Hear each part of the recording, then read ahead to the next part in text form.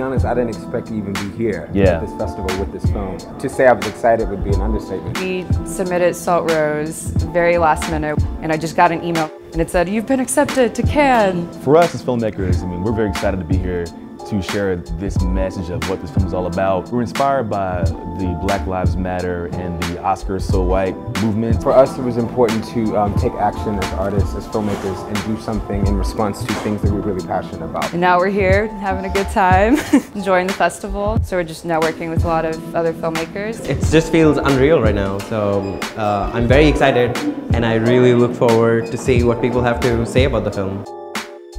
When we showed up to the screening, it was totally packed. We couldn't There was see no more our- seats at all. there were No was more none. seats Seats- available. It's sparking some type of interest. Enough for us not to even have a seat to see it ourselves. Short is being screened like right now. It's a great opportunity just to get out there and I'm very thankful to Creative Minds for that. The Creative Mind Group is a small boutique operation where they really do focus in on people like us as filmmakers to help push our art form to the next level. This is a big, big deal. You got to be a part of this. You got to go here and push your film. We also been contacted by various companies that want to help distribute the film and get the film out there to a bigger audience. That translates to making a little, a little bit of money also, which I never expected from this film at all. It's, it's just great to have an international audience and put your movie out there for people to see, to get their feedback. We just want to say thank you to the Creative Mind Group. You guys have been amazing to us, and um, it's been such a great opportunity to work with you and help us promote and um, and, and, and, and, and love on this film. Creative Mind Group, big shouts out. You held us down. We're going to keep it going for the next year as well too. Boom.